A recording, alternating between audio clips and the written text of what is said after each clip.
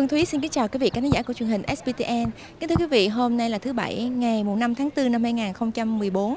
Phương Thúy hiện đang có mặt tại History Park thuộc thành phố San Jose để gửi đến quý vị một vài hình ảnh về buổi lễ khánh thành bức tường tưởng niệm các anh linh chiến sĩ đã tử trận do các anh chị em trong đoàn văn nghệ Lâm Sơn tổ chức.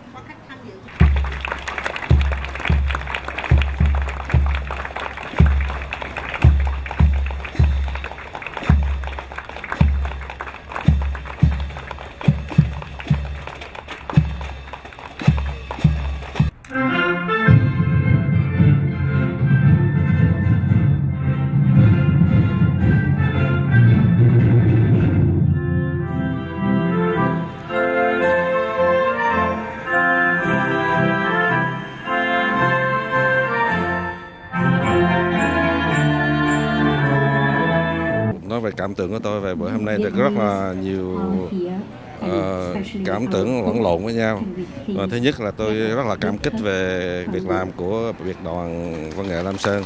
Ờ, những người trẻ mà đã biết cách đã biết tranh đấu để mà có được cái di tích ngày hôm nay để cho con cháu trong tương lai có thể ờ, biết lý do tại sao người Việt của mình ngày hôm nay đã tranh đấu cho cái gì và đã làm những gì để có mặt.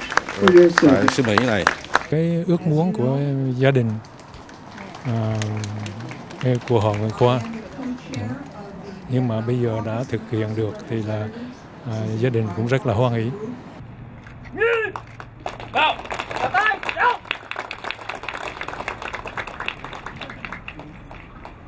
Là một cựu quân nhân Việt Nam Cộng Hòa thì cái những gì liên hệ tới cuộc chiến và liên hệ tới những anh hùng, những chiến hữu của tôi, những quân trưởng của tôi, những nhiên trưởng của tôi được ghi lại trong sử sách thì hôm nay được biết là làm cái à, cái tượng đài tưởng niệm những chiến sĩ anh hùng đó, thì tôi cảm thấy mình nên hiện diện để tỏ lòng ngưỡng mộ của một người chiến sĩ Việt Nam Cộng Hòa.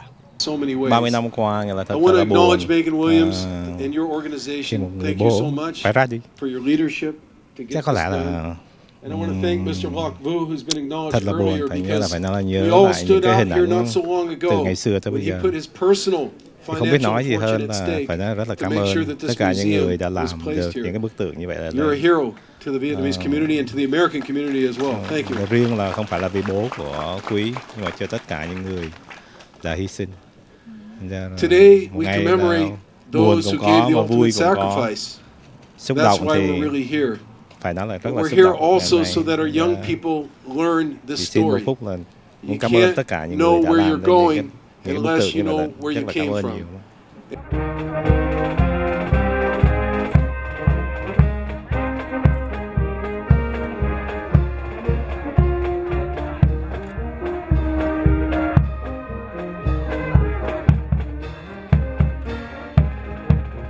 Phương Thúy tường trình từ San Jose xin kính chào tạm biệt quý vị.